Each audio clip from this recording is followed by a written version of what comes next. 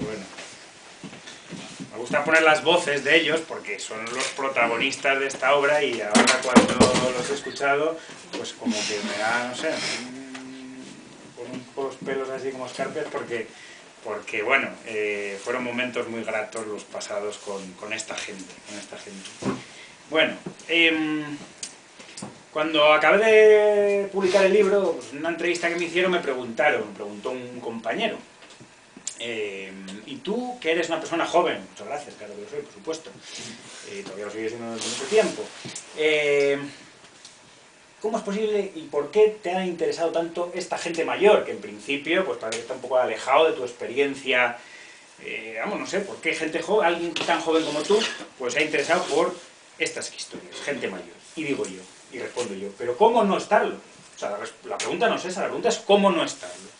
Yo no sé si a vosotros os pasaba, sois más o menos de mi generación, pero yo que tenía unas infancias, una infancia muy rural, que nos soltaban allí en julio y hasta septiembre no volvían a por nosotros, estábamos con los abuelos, todo era maravilloso, porque todo era diferente. Nosotros vivíamos esos tres meses en una especie de cuento con, de relato o de paraíso, de edad dorada, llamadlo como queráis, ininterrumpido porque todo era diferente. Aquella gente con la que convivíamos, nuestros abuelos, vivía, pertenecían a un mundo absolutamente diferente, completamente diferente, más yo creo incluso de lo que, de lo que creemos. Se vestían diferente, comían diferente. Yo digo, pero abuela, ¿cómo es posible? ¿Por qué desayunas sopas de ajo? Eh, ¿Por no desayunas colacao? Yo le preguntaba, ¿no? Como yo. Entonces me miraba como diciendo, este chaval... Y entonces, todas esas cosas, ¿no?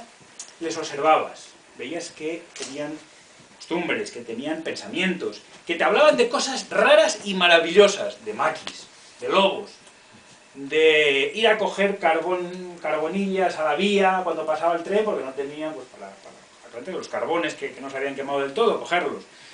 Es aquellas historias de caza del abuelo cartero. Bueno, toda una serie de cosas que quizá en aquel momento no eras del todo consciente de su maravilla, pero sí que asistías a ello maravillado, es decir, no reflexionabas sobre ello. Pero yo al menos, para mí, aquellos tres meses eran absolutamente, vamos, no se podían eh, comparar con nada, no se podían comparar con nada. Entonces, por eso me preguntaban, ¿no? ¿Y cómo, cómo es posible que esto te interese? Pero ¿cómo no te va a interesar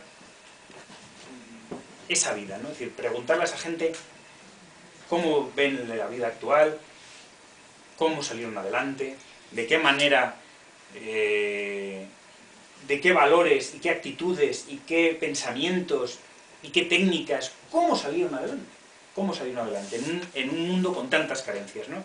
Bueno, pues ese ha sido un poco el objetivo de este libro, ¿no? El objetivo, pues, era plasmar el mundo, pues eso, de los peligros de extinción, bueno, pues quizás sí, ¿no? De los últimos hombres y mujeres auténticos, auténticos del campo y del mar, sus obsesiones, sus anhelos, sus recuerdos, ¿no?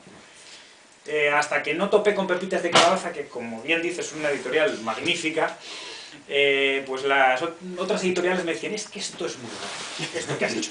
Dice, porque esto ni es una obra, es una obra de viajes, pues yo lo vendía un poco como literatura de viajes. Dice, pero también tiene periodismo, empieza como siempre con relatos, parece que es eh, literatura, claro, también etnografía, hay mucho de todo ello, es como me ha salido qué queréis que os diga, ¿no? Entonces, hasta que no llegó Pepitos de Calabaza, y la verdad que les gustó mucho, y, tengo que agradecerles por su apoyo, pues no, no encontré mucho, eh, vamos, eh, no entendían, ¿no? No entendían. Yo creo que simplemente que dejase llevar, ¿no? Tampoco hay que eh, encasillar esta obra, ¿no? Dicen, es que no tenemos ninguna colección en la cual meterla, ¿no? Yo, no, pues, no lo metas en una colección, es cuestión de colecciones. Bueno, pues parece que las colecciones es, es una cosa importante, ¿no? Es una obra de viajes, pero digo yo que es una obra un tanto rara, porque no se fija en, catedrales, en monumentos concretos, en iglesias, en ermitas y tal, sino monumentos humanos, podríamos decir, ¿no? Podríamos expresarlo así, ¿no? En historias, en personas, pues que no se encuentran precisamente pues tecleando en Google. Tú ahora mismo querías buscar de qué siglo es la Catedral de León o de tal, ahí tienes, ¿no? Sin embargo, esto pues es un poco más complicado, hay que ir a ver a estos paisanos, ¿no? Entonces digo yo, por ejemplo, eso, que es un viaje hacia adelante en el espacio, pero hacia atrás en la memoria, en el tiempo. Es una especie de máquina del tiempo, ¿no? Yo camino, hago todos esos kilómetros hacia adelante, pero eh, en realidad es un viaje hacia atrás, ¿no? Hacia eh, la memoria. La memoria es la clave un poco de esta, de esta obra, ¿no? Mi cabeza es despensa de memorias, que dice ahí el representante de Murcia, ¿no? El murciano, lo comparaba con la despensa. Tantas cosas en la despensa, pues él lo tenía, para él la despensa era la cabeza. Pero la memoria, y una cosa, las cosas que me he dado cuenta haciendo esto, es que la memoria no es algo, lo sabes bien, no es algo objetivo, no es algo que es así. La memoria es una cosa muy rara, es una cosa muy rara, muy, muy particular. Mm, es algo selectivo, magnifica algunas cosas, desecha otras, tiene su propio criterio. La memoria es una cosa muy, muy particular. Y por eso yo he pensado y he llegado a pensar que la memoria tiene mucho que ver con la literatura. Se parecen la memoria y la literatura. La literatura también hace eso. Conscientemente eh, seleccionas algo, lo otro lo desechas, unas cosas dan más importancia, otras no. Funciona con unos criterios bastante parecidos, ¿no? Y quizá por eso también en estas palabras mayores hay, pues hay literatura, que es lo que me dicho la gente, ¿no? En algunos casos parece que lo dicen como si fuera algo negativo, ¿no? Dices, que hay mucha literatura ahí, como diciendo, ¿eso será verdad, eso que cuentas? Digo, pues no sé si será verdad o no, pero a mí me lo han contado. Y yo, me parece que esas cosas que han contado esta gente tienen tal capacidad de sugerencia, de sugerencia, que efectivamente, efectivamente son literatura. No digo que sean ficción, digo que se tocan, llegan a tocarse con la literatura, con la literatura.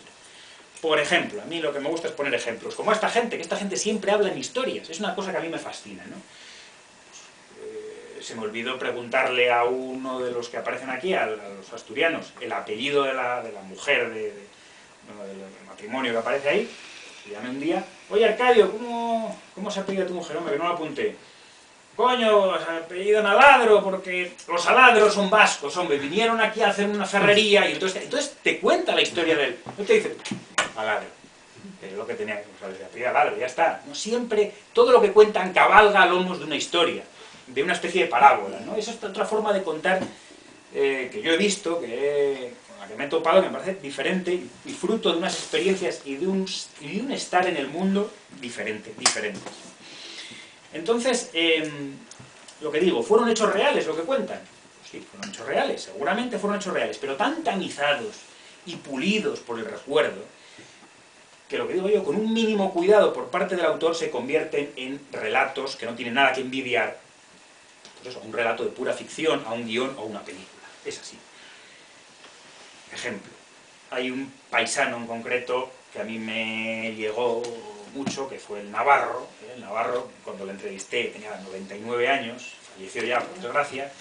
Este hombre había estado en la guerra, este hombre había combatido en Álava y en otros sitios, y este hombre contaba que cuando, que en una ocasión, pues habían quedado, pues su, brigada había quedado como si fuera una trampa, ¿no? Había quedado en un monte arriba y no había manera, no había manera de bajar, ¿no? Estaban eh, siendo atacados por todos los flancos, ya subían todos los, subían los contrarios y no había nada que hacer. El sargento, de hecho, se despidió de todos uno a uno y de, sálvese quien pueda, esto está todo perdido, ¿no?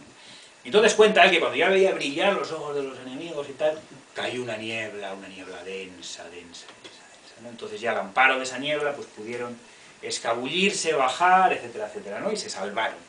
Entonces esa niebla, ese es, una, ese es un elemento literario, pero un elemento literario de primer orden, lo cual no quiere decir que esto sea un cuento, no, no, es que eso, ese elemento literario le da mucho más poder de, seducción y mucho más poder, y la hace mucho más real. Aunque incluso puede que no sucediera así, pero lo hace mucho más real. De hecho, este paisano, las vísperas de la Inmaculada, que fue cuando sucedió esta, este suceso, cuando aconteció aquello, durante todos los, todos los años de su vida, hasta, bueno, ya cuando tenía la pues no, hacía a lo mejor 10 años que no lo hacía, subía al balcón de su casa, tiraba un chupinazo, invitaba a comer a todo el pueblo. Que había nacido aquel día, ¿no? Entonces, eso lo hacía siempre, lo hacía todos los años, en esa víspera, ¿no? Entonces, pues le digo que eh, eh, no hay que, en ocasiones, hacer un gran esfuerzo eh, ficcional para, para, para, para, bueno, pues para escribir cosas de estas, porque esta gente ya lo tiene, lo tiene, lo tiene, tiene algo literario, eso es lo que llamamos literatura, ¿no? Manuel Rivas, por ejemplo, cuando estaba presentando Las voces bajas, su libro Las voces bajas, lo decía. No sabemos lo que es la literatura, decía, decía él. No sabemos lo que es la literatura. Pero sí detectamos la boca de la literatura. Que tiene la forma de un murmullo, de un rumor. No habla algo. hablamos.